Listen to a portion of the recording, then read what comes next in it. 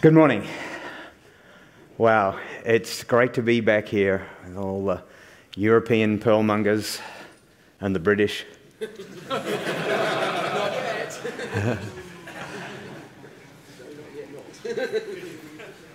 and as you probably know, I love Perl. Yeah. I love the Perl community. I love Perl 5. I love Perl 6. But love is a complicated emotion. Because as much as I love Perl 6, I also hate Perl 6. And the reason I hate Perl 6 is because of the way it makes me feel about Perl 5. and I'm not saying there's anything wrong with Perl 5. Perl 5 is a fantastic language. Perl 5 to me is the Liam Hemsworth of languages. So it's, it's kind of capable, it's uh, pretty powerful looking, uh, it's workmanlike, doesn't look too bad. And then you meet its sibling.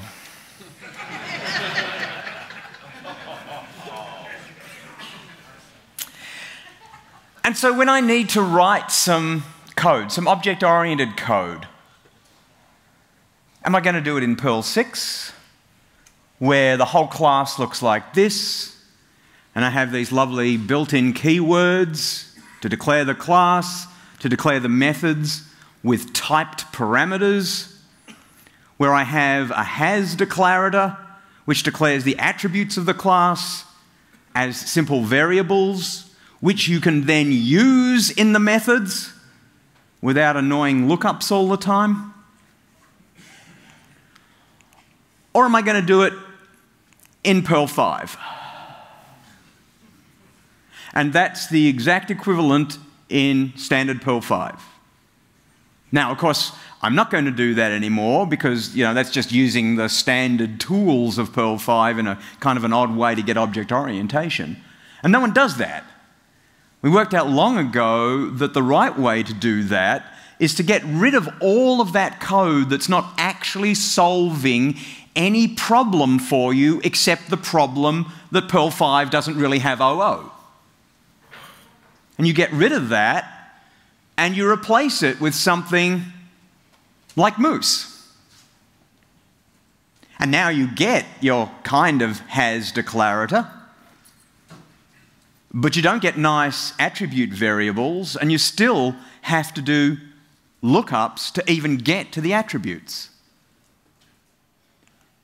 And you end up with still twice as much code, twice as hard to get it right, and runs half as fast. And that's why I hate Perl 6. Because Perl 6 makes Perl 5 feel like Perl 4. uh, for those of you who don't know, that's the third Hemsworth brother. That's Luke. And you cannot tell me that he is not a host. So all I wanted in Perl 5 was three little words. Little words like Perl 6 has. I mean, like literally like Perl 6 has. and class. And method. So, being me, I thought, how hard could that be? well, it turns out that it is harder than solving a seven dimensional Rubik's dodecahedron. but it's not as hard as successfully rebooting the Fantastic Four franchise. so, in other words, it's not really very hard at all. And how you do that? You do that how we solve every single problem in every single language. You just need to add one extra level of indirection. So what did I do? I said, well, I'm, damn it, I'm just going to write my Perl 5 code as if it were Perl 6. And I'm going to write a module, modestly called Dios, that will make that work. So, how do you write a module that makes that work, that adds new keywords and new behavior to Perl 5? And the answer is that's been available for more than a decade. It was available in Perl 5.12 and later with the plug- pluggable keyword mechanism. And if you dig deeply enough into the documentation, and frankly, they hid the documentation of this feature really, really well, probably for good reasons. when you get dive down deep enough and find it, then what do you read? You simply implement new keywords in C. to which my reaction is, oh, hell no. So you go back to CPAN and you see that some kind soul, Lukas Mai in fact, has solved that problem for you with a module called Keyword Simple. And you read its documentation, and it says you implement your new keywords in pure Perl. Ah, that's what I want. And how does this work? Well, you set up a callback that will be called any time that a keyword is encountered by the Perl 5 parser. And when that keyword is encountered and it detects that you've set up a callback, it passes all of the remaining source code of your file to that callback. And then your callback just has to parse out the keyword's arguments, the parts that belong to the keyword, and replace those with some standard Perl 5 code that implements the same behavior. And so that's exactly what I did. Here is the Dios source code, and that's exactly what you do. In your import subroutine, so every time you say use Dios, this happens. You call keyword simple's define function and tell it, I'm going to define a new keyword called method. And here is the callback for it. Just a regular old subroutine. So, what do you do in the subroutine? Well, first of all, you accept that it's going to pass you a reference to the rest of your source code in this current file. And then you're going to have to parse out of that the bits that represent your method declaration. So you get a regex that represents some kind of identifier, and you say, Well, I'm going to match that against the source code to find out what the name of the method is going to be. And that was easy. And then the rest goes horribly wrong. Because now I have to parse out any arbitrary list of Perl parameters and an arbitrary code block. And of course, years ago that would have been a huge problem, but it isn't now because now we have PPI. How many people have heard of PPI, the module? This is an extraordinary module written by Adam Kennedy, another Australian, which explains pretty much all of it. And this module is able, in Perl itself, to parse most Perl programs. So, what do you do? You say, make me a new PPI document from the trailing code, and you get back a parse tree that represents the structure of your remaining code. So you then go in and say, well, what I'm going to do is I'm going to walk through that tree I'm going to take the first child of the first child, and I'm not going to explain to you why it's two levels deep. It just is. And I'm going to say, well, was that in fact a list? Was that the suitable list of the parameters? If it is, then I have my parameters. And if it's not, then I don't have any parameters, so I'm just going to set params to undef. And otherwise, I'm going to remove that parameter list from the PPI tree. Why? Because then I'm going to go back and have a look at the first child again, which will now hopefully be my block of my method. But it might not be, because methods could also have Perl subroutine attributes on them. Is method, for example, uh, colon method, for example. So I'm just going to go through and I'm going to be looking until I find a block. I keep looking until I find the block, and eventually I find the block and I check that I did find a block. And if I found the block, then I've got all the information I need because I've got the parameter list and I've got the block and I've got the name and I know it's a method.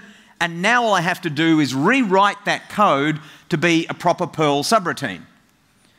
So I'm not going to bother to show you how you rewrite that code. You just call a subroutine that you've written and you pass it the parameter list and it works out how to write code to make those parameters be type checked and do everything else that they can do. And you take the block and you remove the outer curlies of it because we're going to construct a new block. And then you literally construct a new block. You make a piece of code that says sub, and then the name of the subroutine, and then any attributes that might have been left behind, and then curly brackets with the parameter setup followed by the original code of the block. And you append any remaining code that was in the file that you didn't need yourself, and you put it back into the variable that you were given in the first place. And that's how you do it. That's the way that you create a new keyword in pure Perl in Perl 5.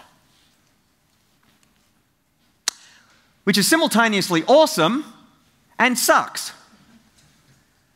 It's awesome because we were able to create a new keyword. It sucks because the only bits of that code that are actually helping us create the keyword are those bits. And all the rest is just compensating for the problems of having to do this in pure Perl. And then you multiply that by the three keywords that I wanted, and you get this 107 lines to implement those three keywords. 80% of it just infrastructure code, code that's not solving my problem, except that my problem is Perl 5 doesn't have a better mechanism for this. So the only thing that I don't like about keyword simple is the name.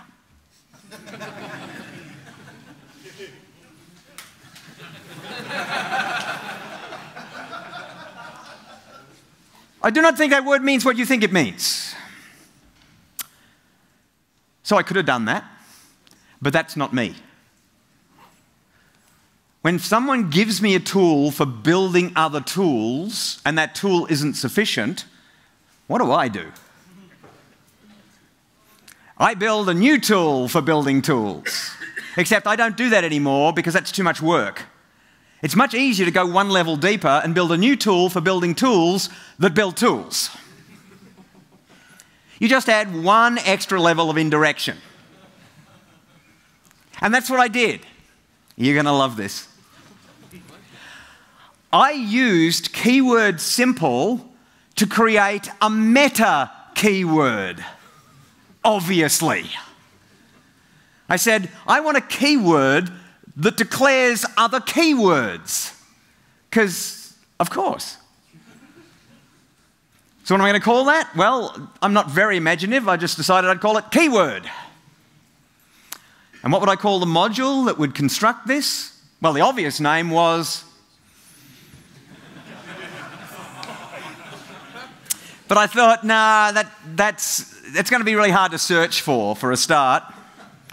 Um, so then I was going to call it this.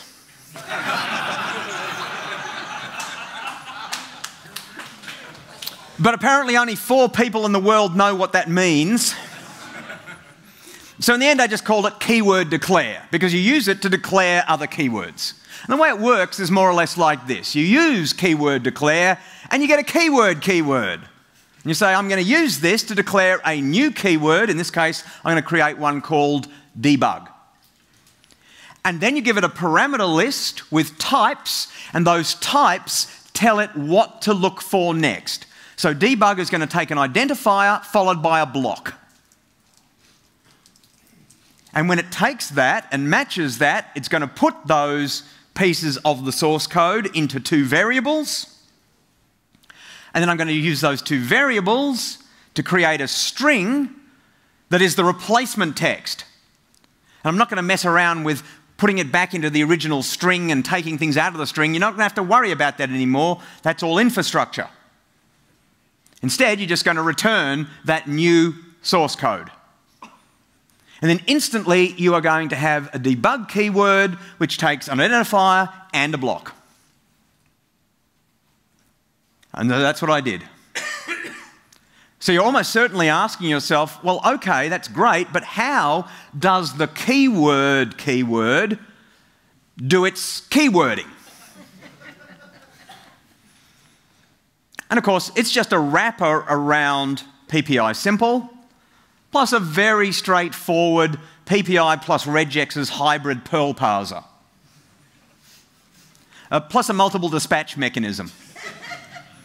Because I thought, I might want to declare two or more keywords that have the same name but different parameter lists. So I might as well throw in a dispatch mechanism as well while I'm here. So, you know, simple. And here it is. Here's the module.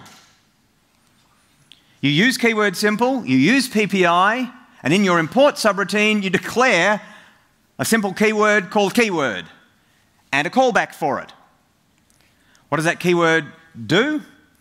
It immediately parses all of the remaining source using PPI, building you a parse tree. And then it goes through and looks at what do I expect the keyword to have. I expect the keyword to have an identifier, followed by a parameter list, followed by a block of code. So I wrote a little extractor that extracts that from the source code. And that's the hybrid PPI and regex parser, which if I had an extra hour, I would actually show you. But, you know, I like you, so I'm not going to. What do you get back from that? You get back the name, you get back the parameter list, you get back the block, and you get back the rest of the source code. So what do you do then? You just build an implementation for this new keyword. And I am going to show you that in a minute, but not quite yet. So you build the implementation for this new keyword, which of course is just a parser for that new keyword. And then you build the source code that's going to replace the keyword keyword. And that's just a begin block, because you want it to happen at compile time. And what does that begin block do? It declares another keyword with whatever name you gave it and whatever implementation you gave it, attaches the trailing source code, puts it back into the original source, and that's how it works. Plus about a thousand lines to implement that very simple parser. So then you have this new keyword, and what does it do? It takes the various components that you give it, the name of the keyword, and the parameter types, and the values, and the block of code, and it basically just rearranges them into a begin block. And that begin block says, I'm going to declare whatever debug keyword you ask me to declare. First thing I'm going to do is parse the source code after the debug keyword. I'm going to run it through that same extract arguments with whatever parameters you told me it's supposed to have. I'm going to pass that into a subroutine which has the parameters that you expected your keyword to have. I'm going to use the body that you gave me as the body of that subroutine. It's going to return the new source code, which I'm just going to append to the existing source code and put back in the existing source code. And then that will mean that now when we have the debug keyword, we now have a debug keyword that will just rearrange that into whatever you said the source code for the debug keyword was. And having written that tool, I immediately re implemented Dios. I took my implementation with all of the unnecessary infrastructure code, and I just got rid of the unnecessary infrastructure code and increased the font size. this is my infallible metric for better code. If you can increase the font size, the code is better. And then I just said, well, I'm going to now use keyword declare. I set up a couple of compile time regexes for types of things that I want to match. And I make a keyword. The keyword says, I'm going to take now these arguments and I'm going to return the source code for the method. And the arguments are just I'm expecting a name, I'm expecting a list, I'm expecting some attributes, and I'm expecting a block. The name and the attributes are just these regexes that I set up at compile time. So you can declare your keyword parameters either with standard Perl types or with regexes that you just wrote. And the other ones, like list and block, are just shorthands for saying PPI structure list and PPI structure block. So in other words, what the extractor does is it says, well, if you said to match a regex, I'll match a regex. If you said to extract something using PPI, I'll extract it using PPI. And if you think it wasn't fun coordinating those two, so it dumps the parts that you asked it to parse into these variables, which can be optional. So you can say, okay, there won't be a parameter list or there won't be any attributes. And then we just do what we did before, which was convert the code to standard Perl code, and we return the new definition of the method. And that's it. Which means to write my other keywords, I just had to do this. And now the whole thing fits on one page. And that's my definition of success. So, with that tool, my Perl 5 classes became just as pretty as my Perl 6 classes. You say use Dios, you now have the keywords, and it all works beautifully. And so this would have been a relatively short talk if that had gone just that well. but it didn't. In fact, everything fell apart in just one second because my test suites were all running beautifully, it all seemed to go really, really well, and then I built my first real OO app with the module. That was fine, that was really easy, it was really quick. And then I ran my first real OO app.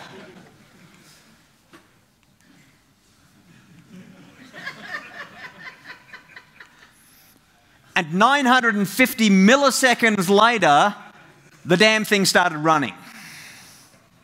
Yeah, it took just under an entire second to compile.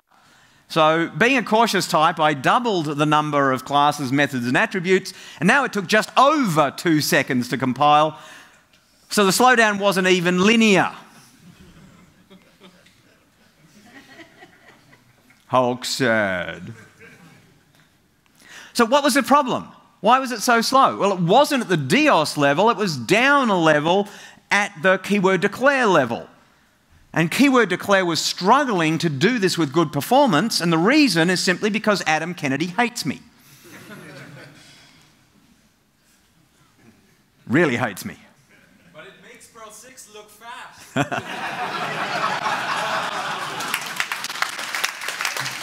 yes, indeed, it did make Perl 6 look fast.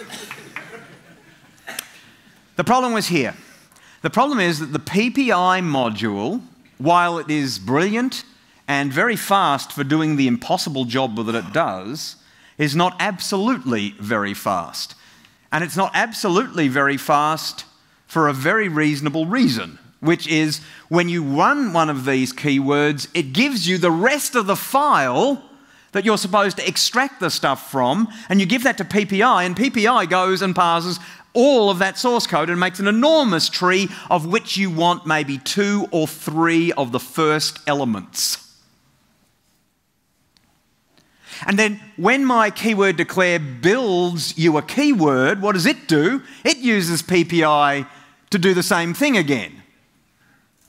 So I'm not just parsing the entire rest of the source code once, I'm doing it every time I declare a keyword and every time I use a keyword. And I'm re-parsing the entire rest of the file, which you can immediately see is an n squared operation. So every time I declare or use a keyword, it reparses the entire source code. Now, that's not Keyword Simple's fault because it's following the API for pluggable keywords. It's not even PPI's fault because PPI is doing the job it was designed to do. It's just an impedance match. The keywords just want specific arguments. But PPI only parses general code. PPI parses what you actually give it, and you can't direct that. You can't say, look, don't bother parsing if this is not a block.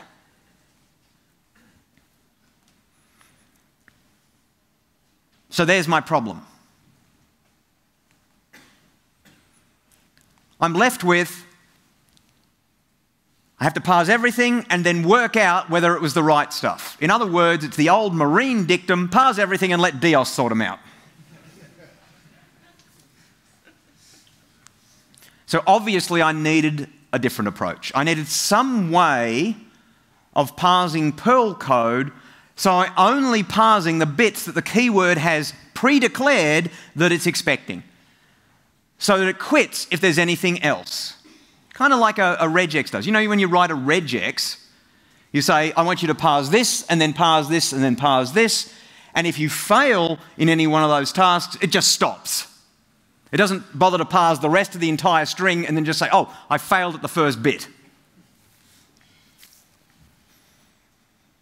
Like a regex does.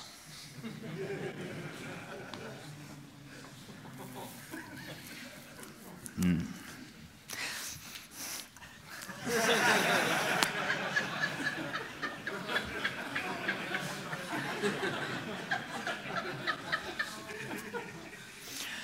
I realized that all I needed to do was create one new module, which would be a partial PPI replacement, or a pure Perl recognizer, or let's be honest, a Perl parsing regex.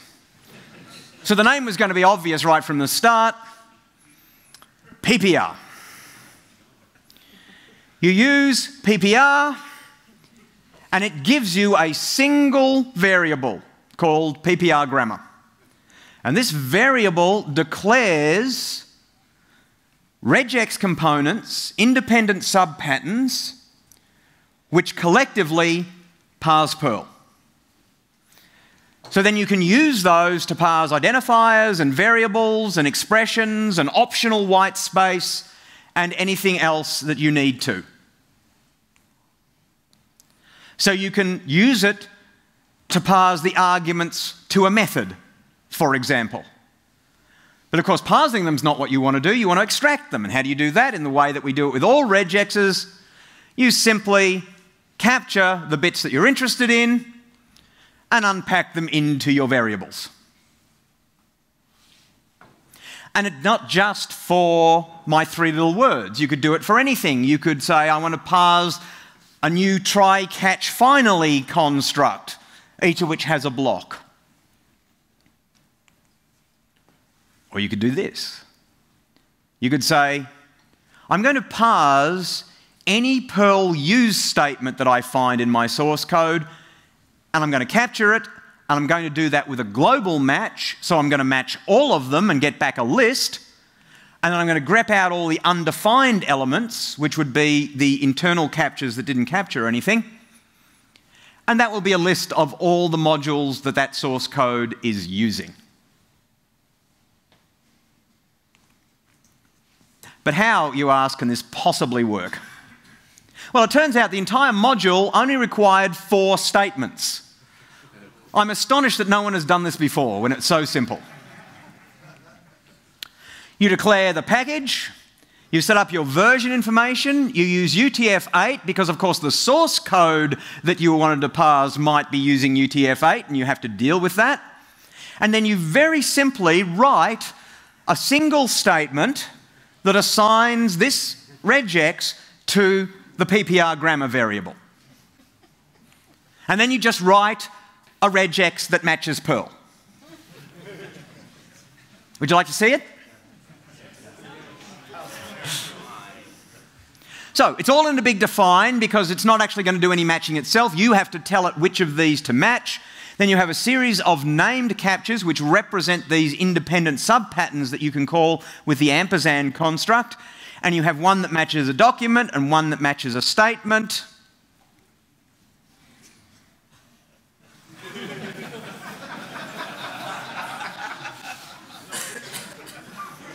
That's not coming out as well as I'd hoped. So, it's 1196 lines long, about 36,000 characters. It has 80 separate independent sub rules, and for some reason, one gravitational singularity down the bottom. I'm not sure why, but it doesn't work when you take that out. It declares rules that you can use for everything a whole document, a statement, a return statement, a term, a format, a block, parenthesis list, anonymous arrays, literals, quote likes, here docs, uh, regexes, bare words, all the way down to pod and optional and necessary white space. Now, the thing I'm going to tell you, which you're not going to believe, but it's absolutely true, is it turns out that it's not actually all that difficult to write an 1196 line regex. What turns out to be difficult is to debug the damn thing. it's really easy to write one that's wrong. But I thought to myself, that's not going to be a problem because I've already solved that. And how did I solve it? With an extra level of indirection. You may be familiar with a module I wrote called regex debugger. People heard of that? Yep. So, regex debugger, I think, is a useful module. And so, when I started having difficulties with this small 1196 line regex, I thought, I'll just fire up regex debugger. At which point, I discovered that regex debugger couldn't actually debug patterns that had been interpolated from a QR, which kind of made it difficult. Also, unexpectedly, it struggled with large regular expressions. You'd have thought everyone was using it from big ones.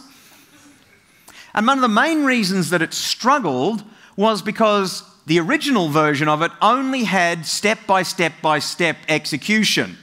And when you've got like 100,000 steps, that's not a very optimal solution. So before I could do anything else, I had to fix this. And the new one does handle interpolated QRs. And more importantly, it now has step over as well as step into. So you don't have to dive down into the 80 layers of subrules when you know that they're going to be okay. And more importantly, you can also return from a subrule at any point. So it's basically like the Perl debugger now. There are all kinds of other improvements that I made to it, but it took the debugging process from now, uh, from being near impossible to being absolutely trivial. So let me quickly just show you, uh, where are we? So here's that simple uh, example of uh, trying to match something, and we say, well, can we match it? Yeah, we can, because there is in fact a try followed by a code block. What's it actually doing? You say use regex debugger, run the same thing again, and now it shows you the entire regex and it shows you the string, and you can walk along and say, okay, I'm going to try this, yeah, that matches that, and now I'm going to try optional white space. Do I really want to look inside that? No, I don't really want to look inside that, so I just say next over it. It goes away and does all the matching for it and says, yes, it matched.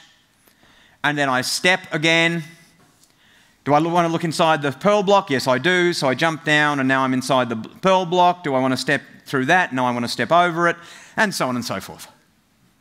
And this makes it relatively easy to debug regexes of any kind of complexity that you like.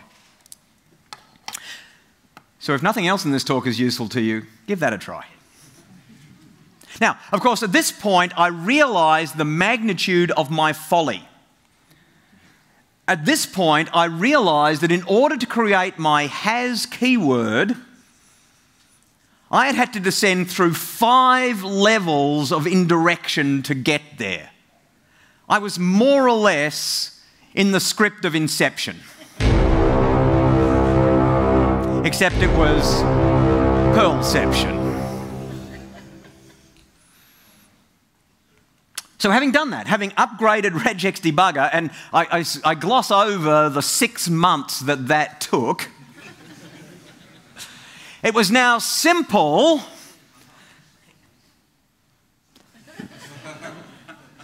to implement a regex that matches Perl.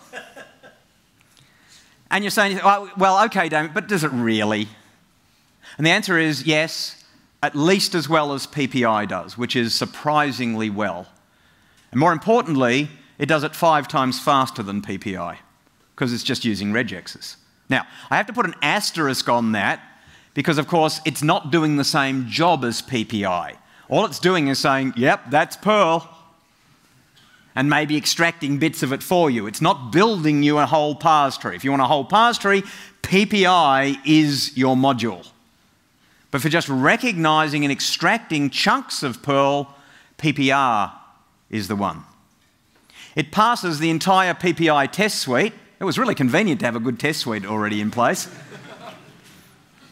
but PPI's test suite, while good, wasn't really sufficient, so it also passes its own test suite with this many tests. It passes every one of the 1370 modules that I've ever put on CPAN.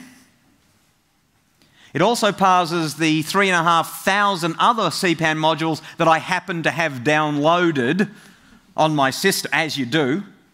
Well, as you see, I've had Moose on my system, so.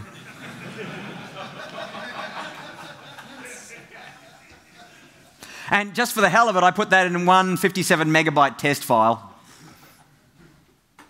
And you're saying, well, that's great, Damian. So it, it, handles regular Perl, but what about the hard stuff? What about the interesting stuff? Well, obviously, first of all, it parses its own source code and PPI's source code, but it also parses the really cool stuff. Erudil's magnificent camel code, it parses perfectly. And Blockhead's answer to the camel code which was the operatorless JAPH. Parses that correctly. It'll parse anything that Acme eye drops will convert to Perl code.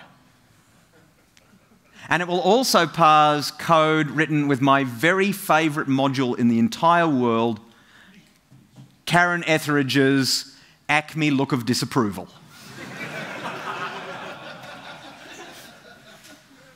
Is that not the most beautiful thing you've ever seen?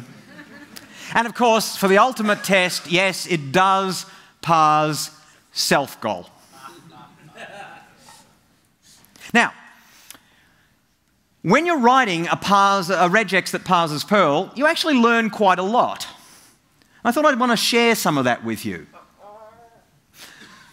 The first thing you learn is you really shouldn't be implementing a regex that parses Perl.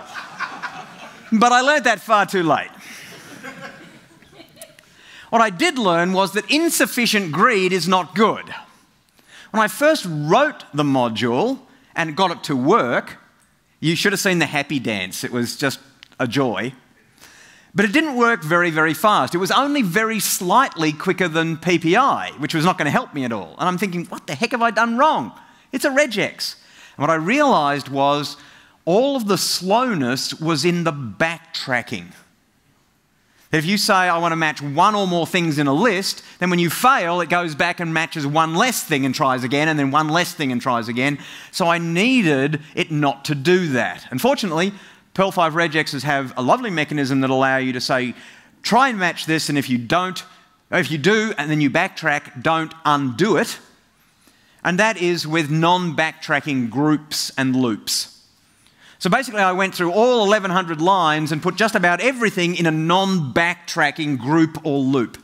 In fact, there were only two places in the entire grammar where you need backtracking, which frankly astonished me, given the ambiguities of Perl syntax. But you're only two places that you needed it, and this uh, increased the speed by a factor of four. Basically, because it was converting a non deterministic finite state automaton into a deterministic one. And I had to do that in all kinds of places. And another way that I had to do it actually takes us back to the gravitational anomaly. If I zoom in on that a little bit, you'll see that what that is, is the part of the regex that matches any built in Perl keyword. But it does it in the ugliest way imaginable. It matches it one character at a time, rather than having to match all of the keywords and backtrack when all they fail.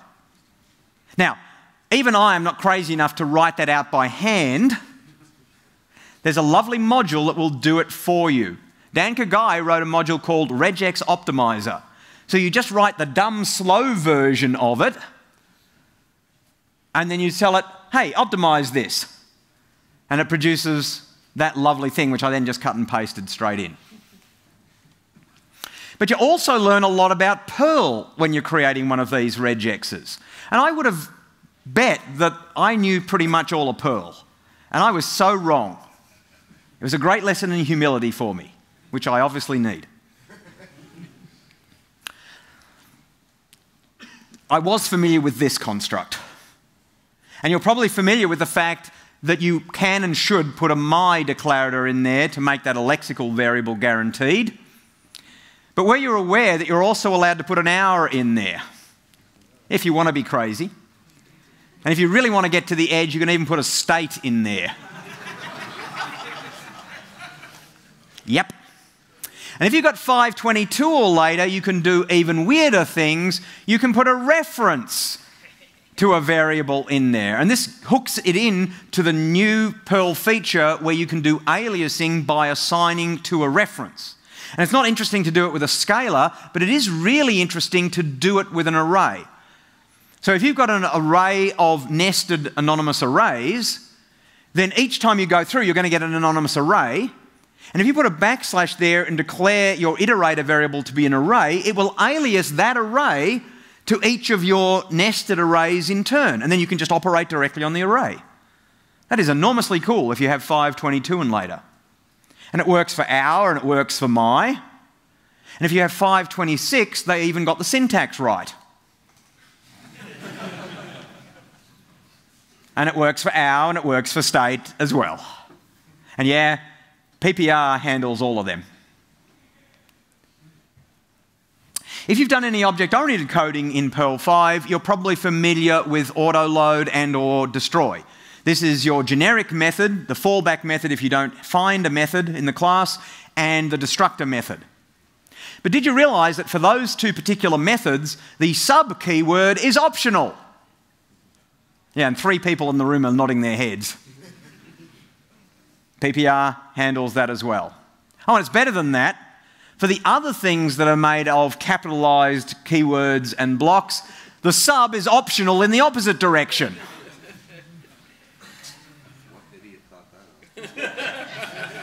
I don't know what genius thought that up.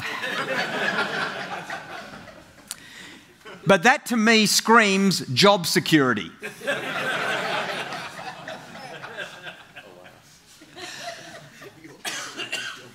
I'm writing the part of the regex that matches statements, and I can't believe I forgot the most obvious statement that you want to be able to match. That one. So I, I fixed that. It, it, in, on the CPAN now, it, it works fine. But then I realized that this one also has to work. Ugh. That, of course, is a labeled empty statement. And yeah, normally you'd use a better label than that. But you do have to be careful because you can't just choose any label for that. yeah, that's not a valid statement because that's not a label.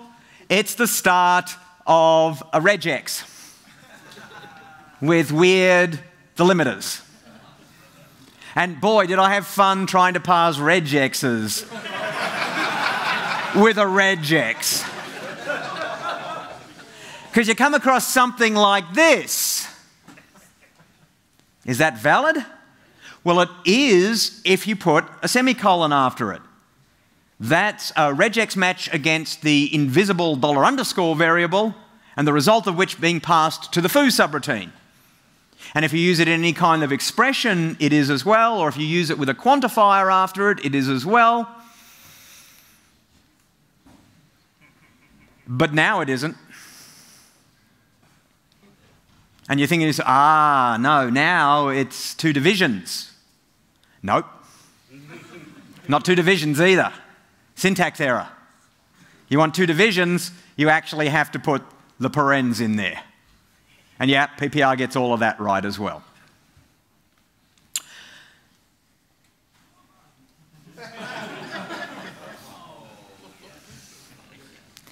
And everything in my regex was going so very well, and then I had to handle here docs. You know, a here doc, you're running along in an expression, you're parsing the expression, you come across the here doc introducer, you work out what the terminator is, and then you just match everything to the terminator. And you say, well, how hard could that be? That's not hard. What's hard is the fact that you can stack here docs together.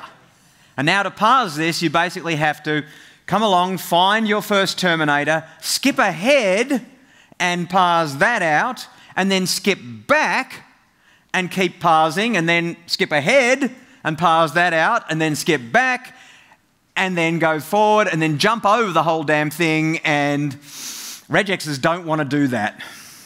They really, really don't want to do that. Telling a regex, oh, just skip ahead and then come back, the regex says, no way, man. So, what did I end up having to do instead? What I end up having to do instead is I had to give my regex some memory. I had to say, okay, parse this, encounter one of these, and say, okay, I've got to remember at some point to parse that here doc. And then I continue on and I'm parsing the rest of the thing, and oh, I got to remember. So I didn't just need memory, I needed a stack. Technically, a queue I needed. And then I continue parsing, I continue parsing, and other statements I have to parse until I get to the first new line. And then that first new line can't just parse a new line, it has to look at the queue of things and parse all of them as well, and then continue on. So you end up with a, with a, a subroutine that looks like this. You parse your here doc introducer, you parse the new indented here doc marker. If you haven't heard about the indented here doc marker, you want to see Sawyer's talk because that's very cool. You parse your here doc terminator, which can be an identifier or anything in any of the standard kinds of quotes, or just to make life really impossible, nothing at all. And then you work out whether you already have memory for this. Have I already seen this before? Because there's no point in remembering it again. If not, you set up your memory for it. And then you say, well, is there anything pending? You know, do I need to look ahead here somehow? And you work out what you're going to do. You pause uh, ahead, look ahead, everything up to the end of the line, and remember where we parked. And then everything that you've already had to parse with previous here docs, and then the new here doc, and then remember what you're going to have to skip eventually when you actually parse this damn thing. Remember, this is all in a, look ahead, so you're not actually parsing it. Remember where we parked, and then match everything to that point. And then you have to find every other place in your regex that ever matches a new line and change it. If there's nothing waiting to be skipped, then you do optimized matching of white space and comments and end markers.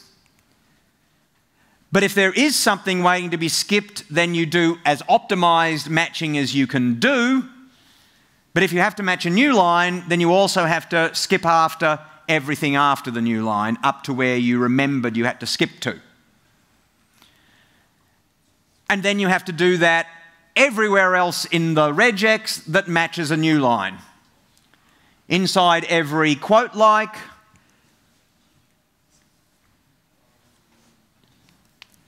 and just for fun, also inside every format. This one was the killer. Because it turns out that you can intertwine formats and here docs. You do a here doc, then you do a format, and then you go insane.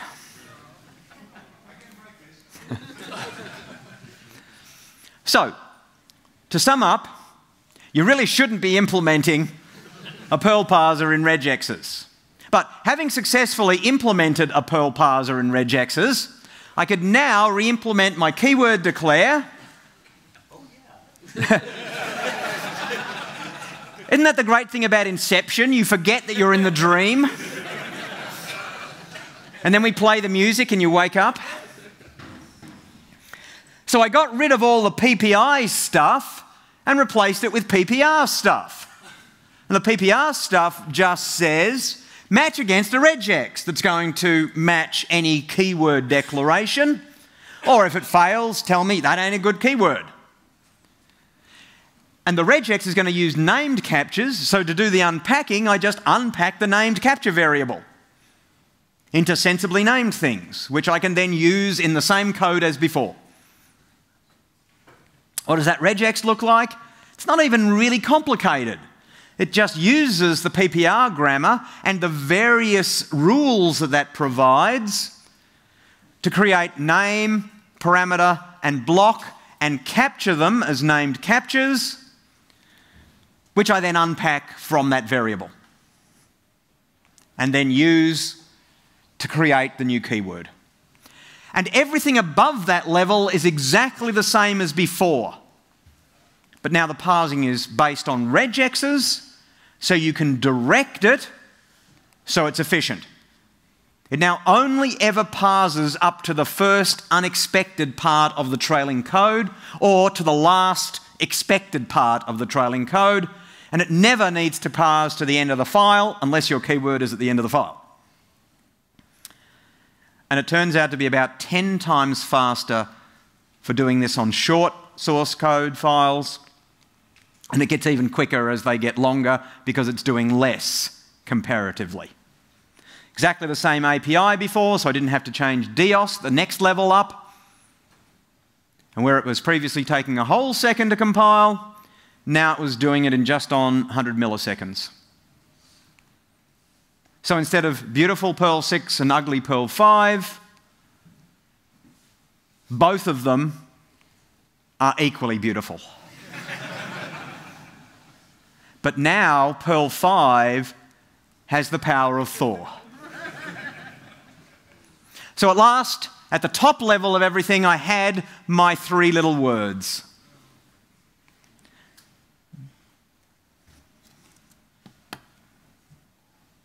Here's the moose version of it. You declare the moose class for a person. You declare the moose class for a user. You write your code and it prints out the date. This is actually from the Moose uh, examples. You do it in Dios. You declare your class for the person, you declare your class for the user. It now all fits on one page and runs faster.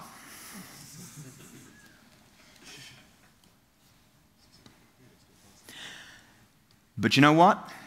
Not only did I have this problem solved finally, I had so much more.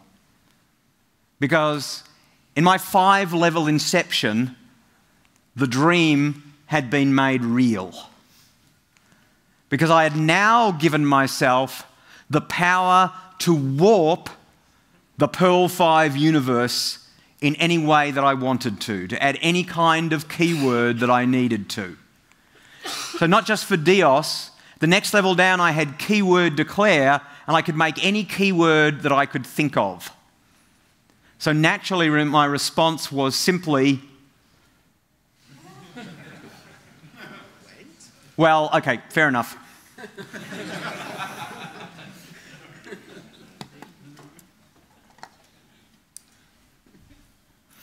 I created a module that said, I don't just want the keywords from Perl 6 for objects, I want all the lovely control structures that Perl 6 has and Perl 5 doesn't.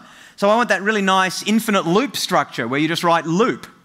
And I wanted a repeat while that Perl 6 has. And I wanted a for loop where you could iterate two variables at a time, like Perl 6 lets you do, which is fantastic for iterating hashes. And I wanted first and last blocks within a loop, which would only execute the first time through or the last time through, which is sensational for putting delimiters around anything that you want to print out, if there's anything to print out. And yep, all of that just works.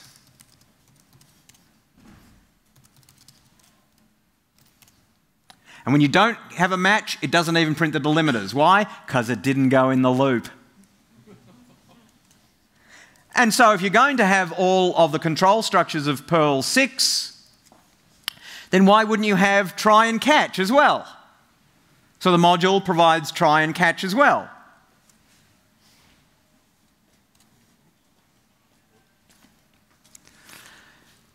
And as you saw, I did a lot of testing for this module. And I, I love the, the test driven development. I love the test frameworks that are available in Perl 5. But I don't love having to remember everything that test more gives me. Do I want is? Do I want okay? Do I want comp equals? Do I want is deeply? I just like to say okay for everything and let Perl sort it out. because that's the kind of deep thinker I am. So I wrote a module called test expression that makes an OK keyword. And what does it do? It evaluates the test that you are doing, extracts from that the various variables involved, builds the test properly using test more underneath, and if there's an error, it gives you the best error messages in the whole world. We failed this test. this was false because X was this and N was that. And that saves me so much time. You just write every test as a comparison using the smart match operator if you want is deeply or anything like that, and it just does the thing for you. And then I thought, why shouldn't we have the benefits of Java in Perl 5 as well? Sigils, uh, you know, another idea that we can argue whether it was a good idea or not. But now you have uh, and you can create variables and localized lets and constants and you can give them types and then you can just use them without those nasty sigils that you can never remember anymore. And it runs perfectly well except, oh, you can't assign to a constant. So let's go and make that a variable. And we can't assign to Fred because it's of type, uh, oh, it's of type num. So let's get rid of the typing there. And it all just works. And then I thought, you know what we're missing? We've got my and our, but we don't have your. obviously. So I created a your keyword that declares a variable, and that variable tracks itself. Every time you assign to this variable, it prints something out to tell you, ah, my value changed. This is really handy for debugging. And it just prints it out with the line number and what the variable was and all the rest of it. And if you kind of like that thing, but you don't want to use a scary Damian module to do it, there's another scary Damian module to do it. Like everyone else on the planet, I've written my own data dumper module. This is called data dx, and you get a dx keyword where you give it the variable or you give it some arbitrary expression, and because it's a keyword, it has that thing. So when it prints out the message, it prints out the variable name or the entire expression for you. And when you dump the thing out, it just dumps it out with all of the useful information there. And of course, those of you from the medical side of the world will know that that's not how you actually spell dx, it's d sub x. So, of course, that works as well. As long as you turn on UTF-8, then d sub x also works because I wrote PPR so it could handle UTF-8 as well. And then I thought, why should I restrict myself to Perl 5? In a tight inner for loop, you often want to do something expensive, so I'm going to write that in C. So I made an ANSI C block where you can just write that bit of the code in C. And then I thought, well, what if I need something like greatest common divisor? Well, I've got a good algorithm for that in Python. So I made a Python block that allows you to just put Python code in there. And if I need to check if things are prime numbers, well, I know how to do that in Latin. So I created a Python block and I created a Latin block. and you run that and it just does all the operations. Now, that wasn't anything very clever. All I did was put keyword wrappers around inline C and inline Python and lingua romana Perligata. Simple. And then I wrote something that might actually be useful to people. So I wrote this piece of code which uses the PPR grammar in a whole series of places to do this for you. Here's a bit of code. It's just regular kind of procedural code. It's nothing very special. It's a bit ugly, and it's ugly enough that I'd kind of like to be able to refactor it out. All it does is take some values, manipulate them, sort them, uh, get the corresponding values out of a hash, and then I just print them out. So I thought it'd be really nice if there was some easy way of factoring that out so that I don't have to look at that ugly code anymore. So I wrote this little tool that allows me to select the code that I'm interested in and just say refactor that. And it says, well, what do you want to call that? Well, I'm going to call that HM sort. And it says, okay, but if I'm going to create a subroutine called HM sort, what's it going to return? Well, it better return maybe one of these values, but which one? Well, let's just do keyword completion and see. Uh, let's just go with heat map and it replaces the code with a call to that function and all the parameters that it would need to do its job. And then all you have to do is insert the actual function that it wrote for you. Uh, and of course, now I'm going to have to say, say for that. And it runs exactly the same as before. And if you are clever and want to use functional style code instead, then it's even better. You can just select the horrible bit of your functional code. You can say, refactor that for me. Again, we'll call it HM sort. And it doesn't even ask you what to return because it can work that out with functional code. So it just inserts that there for you. It doesn't get the line up quite right. That's Vim's fault. You insert the function again and it still runs.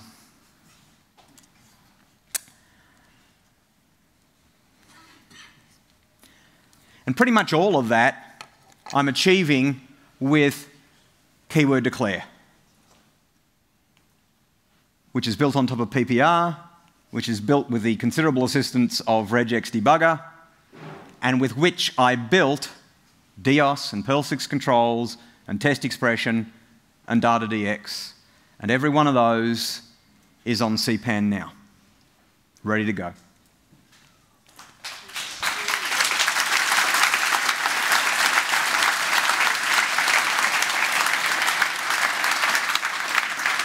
So, my hope is that with these tools and meta tools and meta meta tools and meta meta meta tools, that you are now going to be go, able to go out there and steal stuff from Perl 6 yourself. and steal from C and from Python and from JavaScript and from Haskell and from the Roman Empire.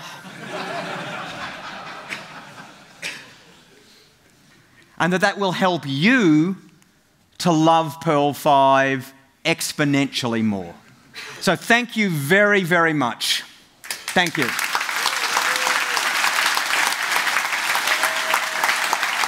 Thank you.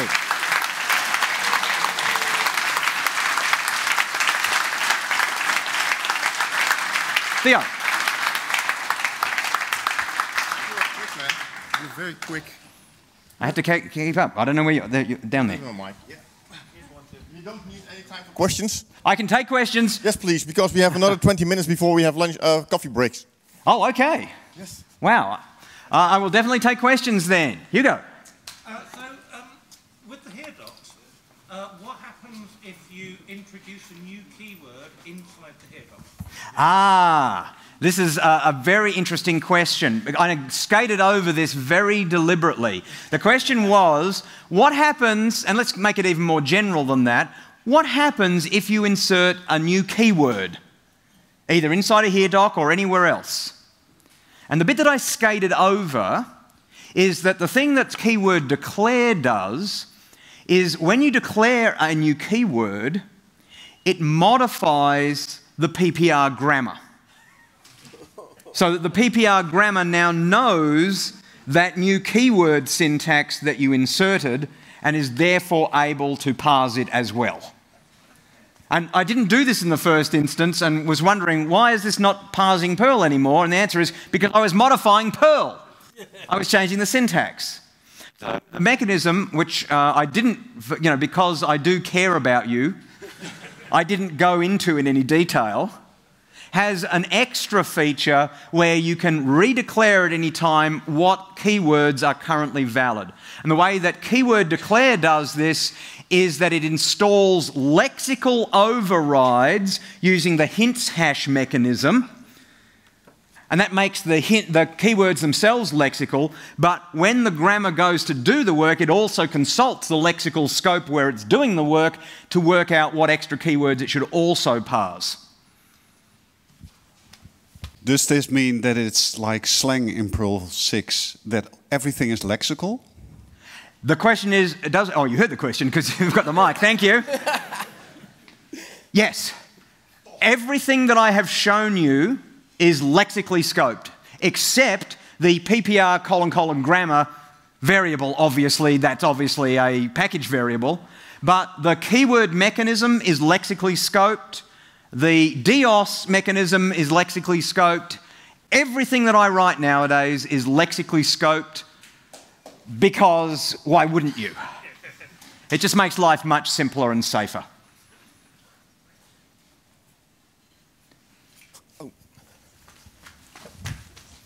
It's a fantastic workout. No, that's what the Question garden's time. for. Hey, um, I wonder if you, you, you made uh, Dios a lot faster. Uh, and how, how does it compare speed-wise with Perl, with native Perl 6 for uh, has, method, and, uh, and class? How does it compare to native Perl 6? You know, I haven't done that comparison. All right. Um, I, I, I tell you what, um, what I'm going to do straight after this talk is do that comparison because it would be very interesting to know. Um, I suspect that native Perl 6 is probably faster, but I have no certainty for that. Me either. I'm being optimistic here. Native Perl 6 will eventually be faster, um, but it's, it's probably fairly close just at the moment.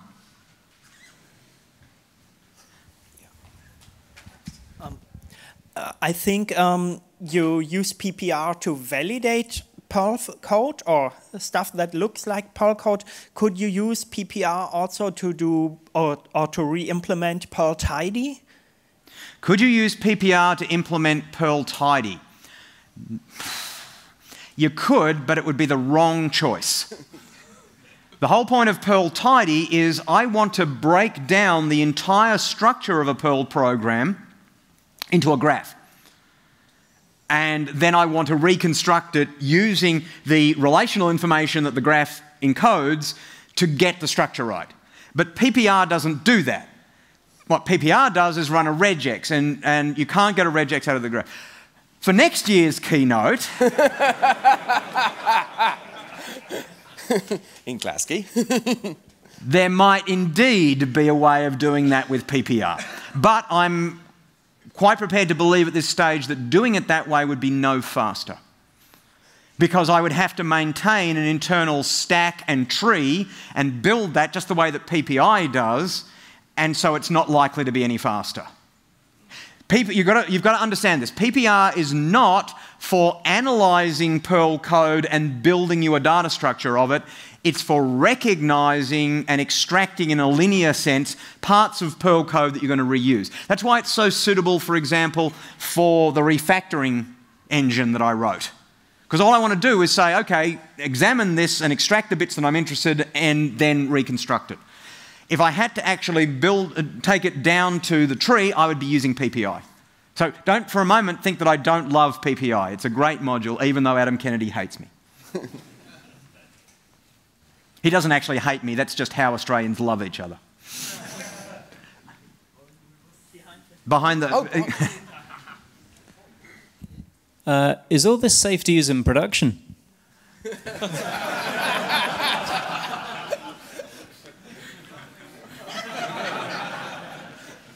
That's an excellent question.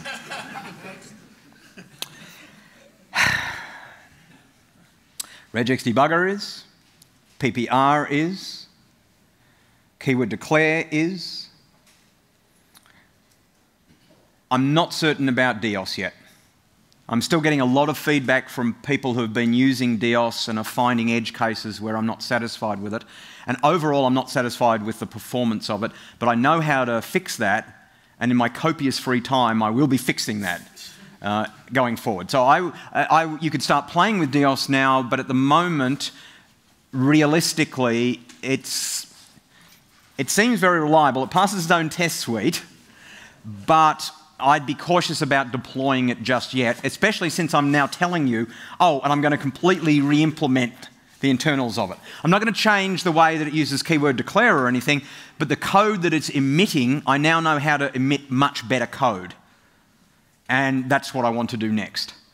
Um, so um, at the moment, I would hang off on DIOS, uh, but everything, every layer of inception below that is perfectly safe to use.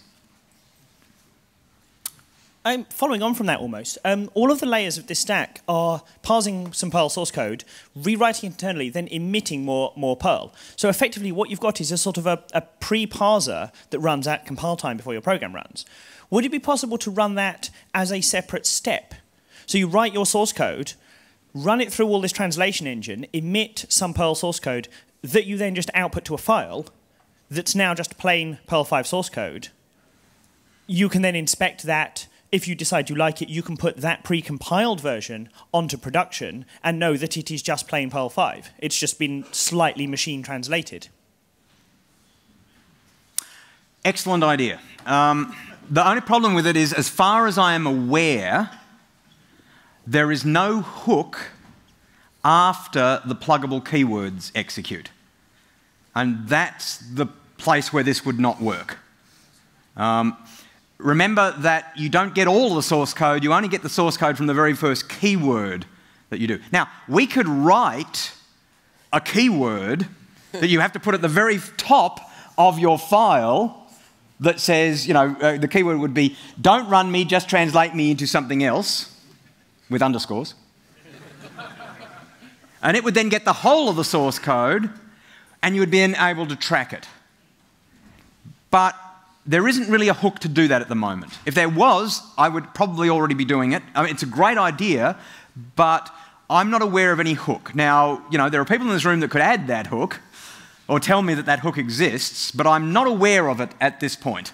Um, but yes, that might be a very useful thing to do. But your, your, your original uh, observation is exactly right. This is basically as close as we can reasonably get to a macro mechanism in Perl 5. The only limitations of it is that the keyword plugin mechanism only works at the beginning of a statement. So you can't, for example, create a new keyword that would exist in the middle of a, an expression. You couldn't, for example, create a new operator which you wanted to use in the middle of an expression because keywords only trigger at the very beginning of any statement. And that's why DIOS, for example, won't give you anonymous methods or anonymous classes because you would have to assign it to something and it won't be at the beginning of a statement. There are workarounds which are described in the module, but it is somewhat of a limitation of the pluggable keyword mechanism that doesn't really make these proper macros like Lisp would have.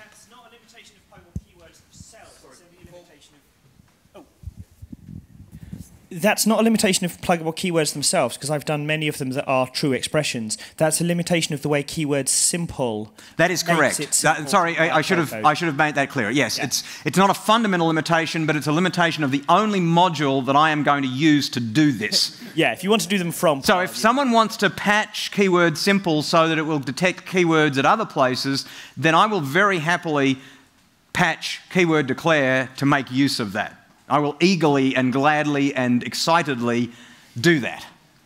But I'm not going to go and patch keyword simple because keyword simple is written in C. All right. Uh, one, one last comment. I now need to rewrite uh, Perl double colon 2 Perl 6 to use PPR as uh, PPI.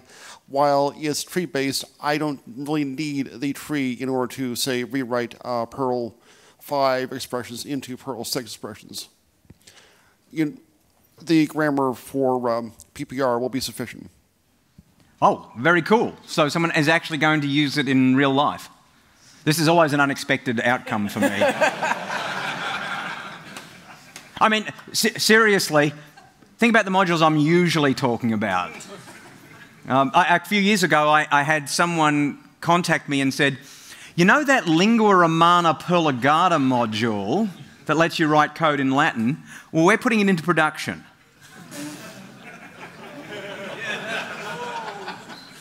okay, and why? Well, because we're from Romania and Romanian is the language that is most like Latin still. And we actually understand the code in, Perl, in Lingua Romana Perligata better than we understand regular Perl code.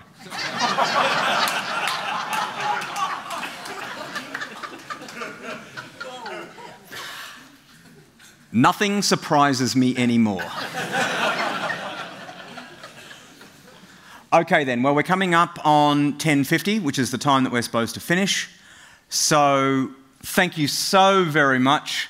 Um, I've had a ball. I hope you enjoyed it. Go out and try some of these things. If nothing else, go and write yourself some keywords. Really stupid ones. thank you.